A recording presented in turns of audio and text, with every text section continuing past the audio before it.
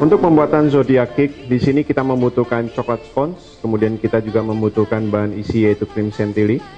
Pertama yang perlu kita lakukan adalah kita motif dulu.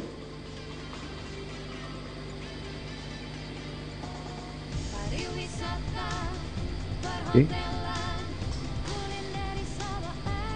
Kita kurangi warna coklat yang ada di atas cetakan tersebut.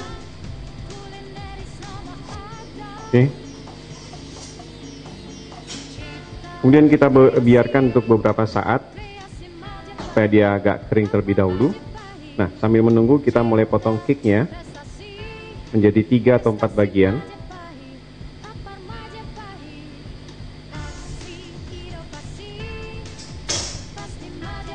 Oke. Kemudian kita isi dengan bahan krim chantilly.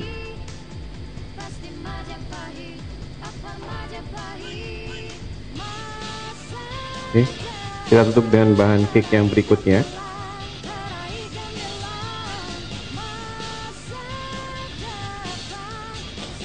Kemudian sisi samping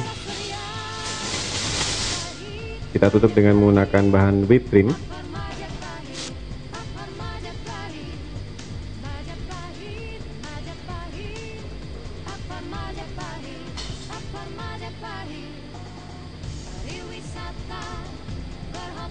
Oke.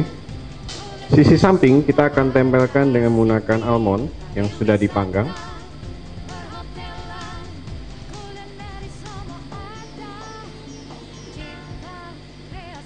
Oke. Oke. Kemudian di atasnya dari cetakannya sudah kita buat sebelumnya kita tuang dengan coklat putih yang cukup tebal.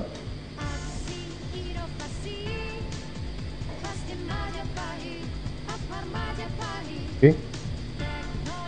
Kemudian kita dinginkan di dalam freezer untuk beberapa saat.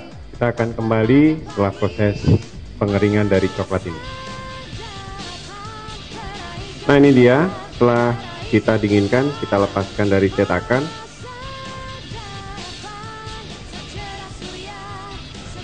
Kemudian kita taruh di atas cake.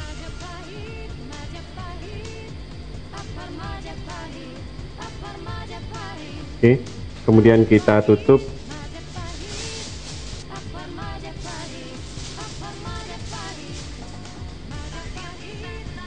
Nah, ini dia zodiac cake.